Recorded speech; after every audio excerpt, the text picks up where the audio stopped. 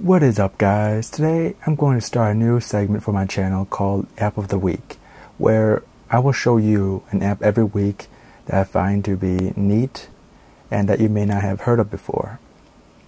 I'm doing this because I'm not generating enough videos or as, at least not as much as I would like to.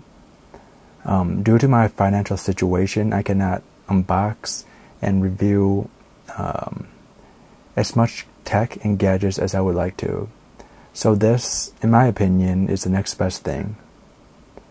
Well, enough of that. Um, let's get straight to the video. This week I have an app called Internet Speed Meter Lite.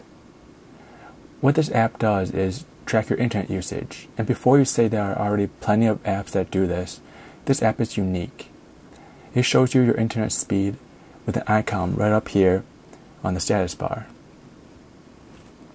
You do not have to go into the app to see your internet speed. And now you may ask, is that it? Nope. This app also keeps track of your internet usage from the last 30 days. This is great if you have a limited data plan. In the time I've used this, I have not found out any real problems, but it'd be neat if they could differentiate your download speed and your upload speeds.